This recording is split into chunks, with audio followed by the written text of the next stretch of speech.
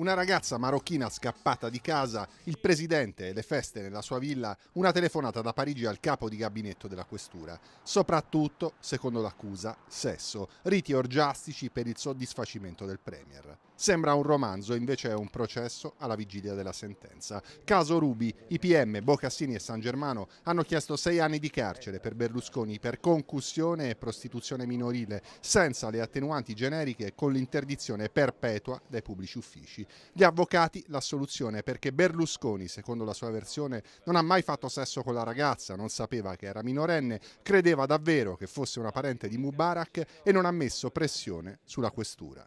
La storia comincia il 14 gennaio 2011. La procura spedisce un invito a comparire a Berlusconi. Lo scandalo è sui giornali da tre mesi. Rubi, l'estate prima, ha rilasciato quattro verbali ai pubblici ministeri. È una ragazzina di 17 anni. Fede l'ha conosciuta a un concorso di bellezza a Taormina. Lei è venuta a Milano, ha fatto la vita, secondo le intercettazioni e secondo la rubrica della sua coinquilina. È entrata in contatto con Mora, è stata invitata ad Arcore al Bunga Bunga. Per quattro mesi, da febbraio a maggio, Rubi non non salta quasi mai una festa comandata nella villa. Poi il 27 maggio 2010 Karima viene fermata per furto, i poliziotti la portano in questura. Una escort brasiliana, Michelle Conceisao, avverte Berlusconi a Parigi. Il presidente parla al telefono col capo di gabinetto della questura, Ostuni, gli dice che la ragazza è una parente di Mubarak. Per evitare un incidente diplomatico con l'Egitto gli propone l'affidamento a una consigliera ministeriale addetta alla presidenza del Consiglio. È Nicole Minetti, consigliera regionale. Ostù, capisce a me, traduce il napoletano nella requisitoria la Bocassini. C'è un giro di telefonate fra il magistrato minorile Fiorillo e il funzionario di turno in questura Iafrate. La Fiorillo dispone che Rubi sia mandata in comunità o tenuta in cella di sicurezza. Il commissario Iafrate la libera autonomamente e nell'ambito delle procedure, secondo la sua versione. Ruby torna a casa dalla Conseisao. Dopo una settimana si picchiano e stavolta la storia passa sui tavoli della procura.